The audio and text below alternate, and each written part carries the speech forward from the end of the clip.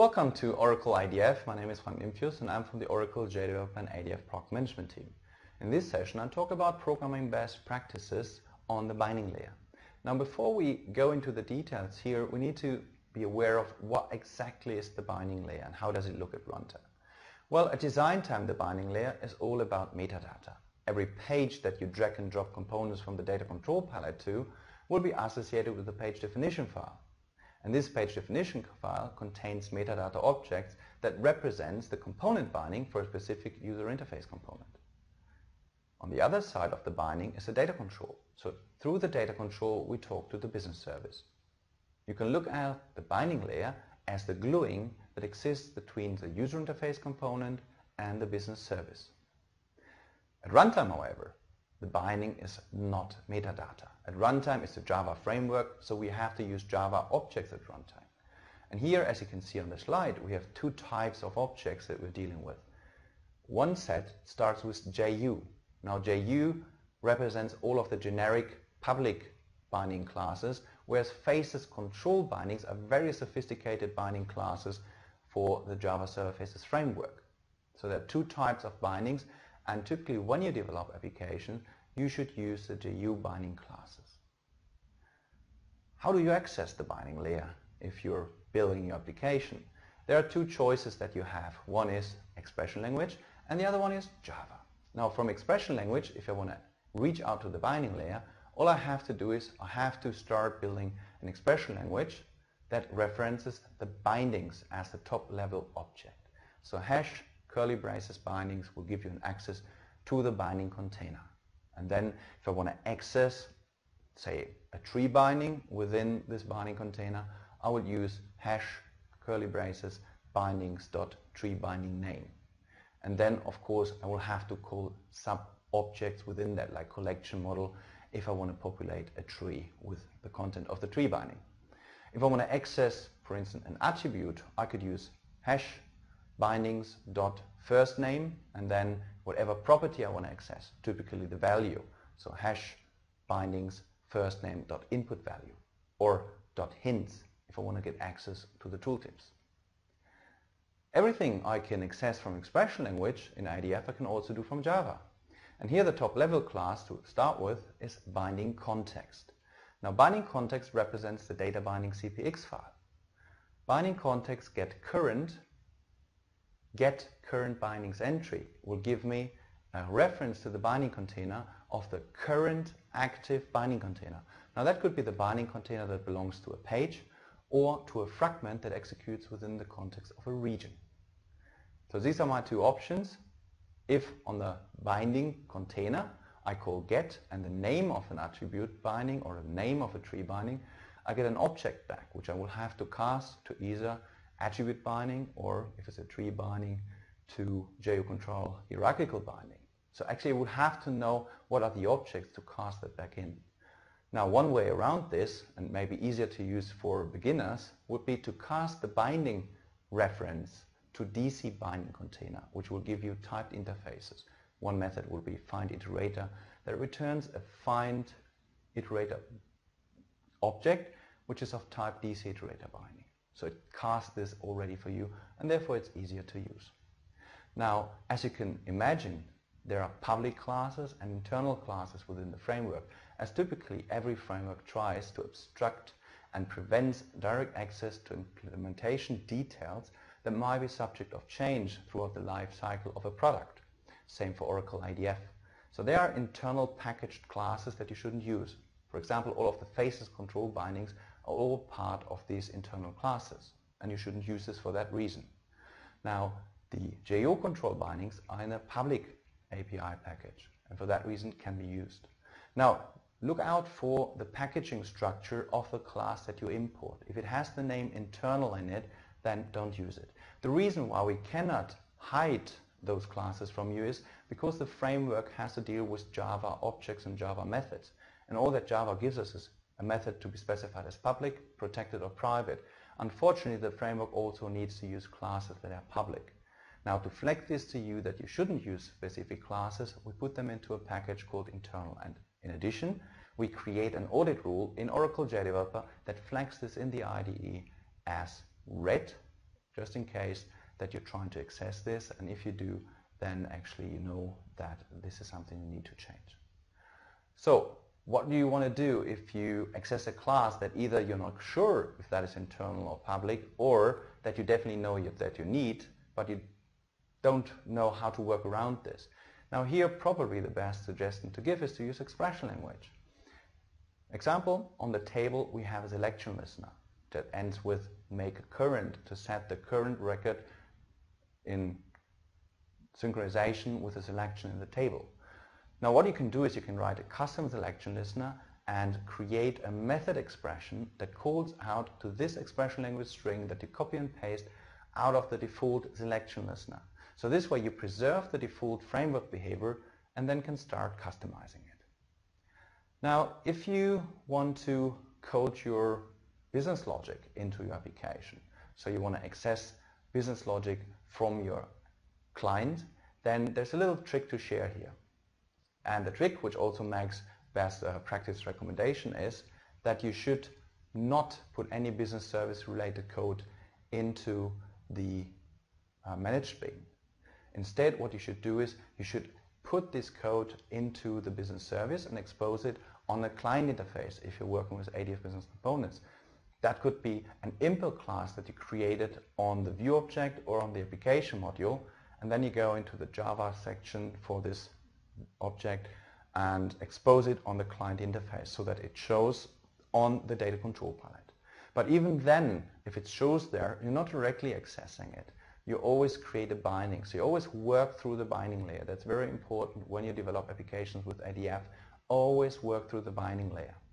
And there are many ways to work around the binding layer. For instance, if I know that there is a method exposed on the application module, what I could do is I could go and call binding context, find data control, get application module, and then cast it to my application module. The difference here is that most likely the framework will be smart enough to detect changes on the business side and refresh this user interface. However, chances are that that will fail in which case you will have a missynchronization between what happens on the business service or on the binding layer. In addition, all of the error handling, which I will talk later about, will not go through the binding layer, but it will go straight to your managed bean, for example. So you have to make sure to enforce consistent error handling that you have a good memory and that your team has a very good development guidance. You can see the working around the binding layer and the working through the binding layer as an example I recently gave during a training. Now, if you're in New York and you don't want to know how to get to Fifth Avenue, one way to get there would be to ask a taxi driver for the direction. Now, probably so they will point you to how to get to Fifth Avenue. The problem now is that the taxi driver would not take responsibility to get you there. So they're just pointing the direction and you're on your own. If something happens along the way, you're still on your own. However, if you join the ride with a taxi driver, which is equivalent to working through the binding layer, then the taxi driver will make sure you get to Fifth Avenue and if there's something on the way that happens, you still have help in the form of the taxi driver. So this is what the binding layer would provide. So if you access business services through the binding layer, so that includes that you create a binding, like a method binding, if you want to invoke a method on the uh, business service. So say you expose some computation how do you create that? So how do you kind of set it all up? And there again are two different options. And this graphic here shows you the two options. First of all, I do have access through a button and I have access through an input text field. And both work with different bindings on the binding layer and both access something on the business service. Now, what I can do is I can access information from a managed bean or straight using a special language. As I mentioned, you can use both ways. If I drag and drop a method activity or method from the data control palette onto my page or on a method activity in the controller, then actually it will create a page definition file with the action binding in it. If I drag and drop a property from my um, business service file, then it will create an attribute binding. So I could create all of what's required, the managed bean and the expression language um, files either by drag and drop or I can manually create this by going to the page definition file which I access on the visual editor, clicking on the Bindings tab and then using the green plus icon on the binding section to create an attribute binding or a method binding and then use that from Java code. The Java code to access the binding are just three to four lines of code, not very difficult. However, you could even have Oracle JDeveloper generating that for you. For instance, if you double click on a button which previously was created by dragging a method from the data control palette and then in the dialog specify create new managed bean or use existing managed bean, create a method in there. And there's a little checkbox. If you select this checkbox, it will generate the four lines of code so that you have the code. You can later on even remove the button, but however, if you remove the button, make sure you remove it from the source uh, palette or from the source editor and not from the visual editor and not from the structure window because otherwise the binding will be cleaned up as well. And as this picture shows, you then work from the user interface component, be it a text field or be it a button or even from a managed bean, always through the page definition file to the business service. This ensures that you have a very consistent way of programming. All that you need to learn about is the API that Oracle ADF works with and then whoever, if it's a different developer or a different page or even different application, accesses this business logic, they always execute the same logic so you don't have to worry about differences.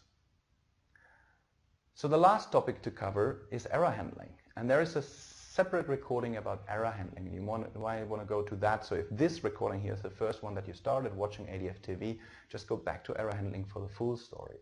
However, on the binding layer, you can specify error handling and the binding actually is responsible for catching all of the errors that are raised on the business service while accessed through the binding layer. And there are several uh, times when the binding layer accesses the business service throughout the uh, lifecycle of a request.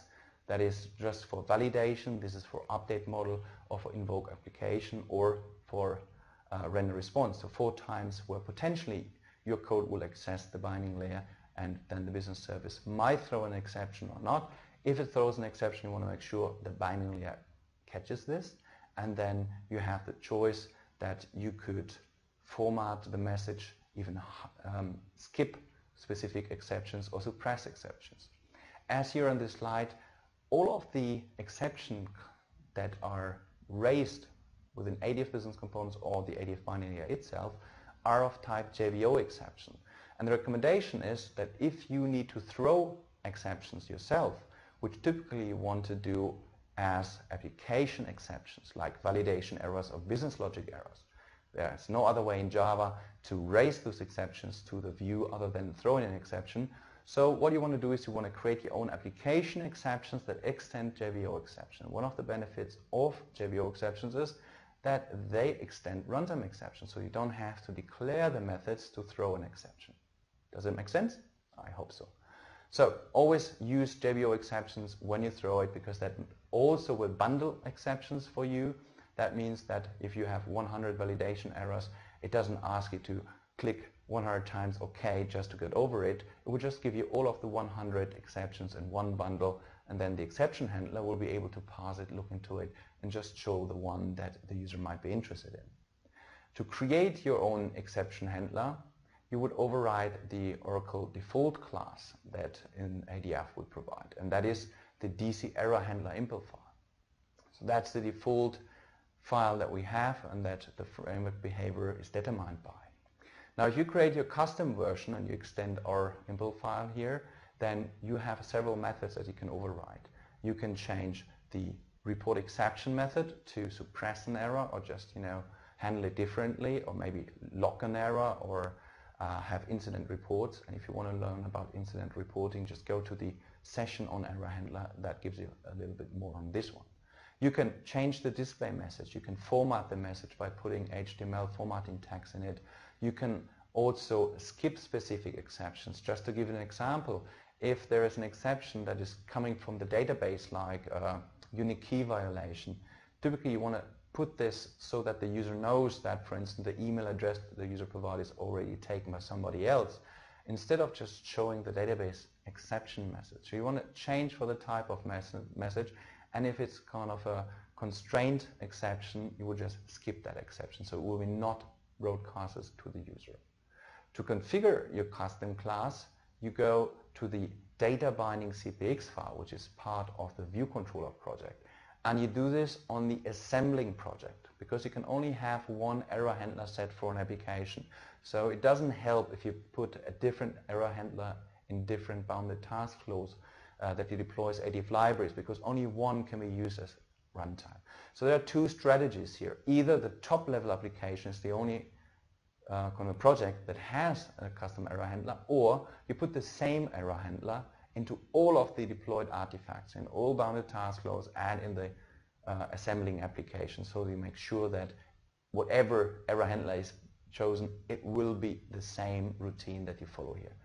So if you want to configure that then you select the data binding CPX file as shown here on the screenshot you go to the structure window select the top level node open the property inspector and there's an error handler property where you just specify the package name and the complete class name that represents your error handler. And you can see some sample source on the slide as well if you look in the middle of the IDE. And again, if you're more interested to learn about the overall options that you have for error handling in Oracle ADF, I recommend going back a few sessions where I talk about error handling in detail. So this concludes the third recording on programming best practices. The takeaway is always work through the binding layer, never work around, and you're on the safe side. And the last recording on this programming best practices is about ADF Faces and JavaScript, and that's part four.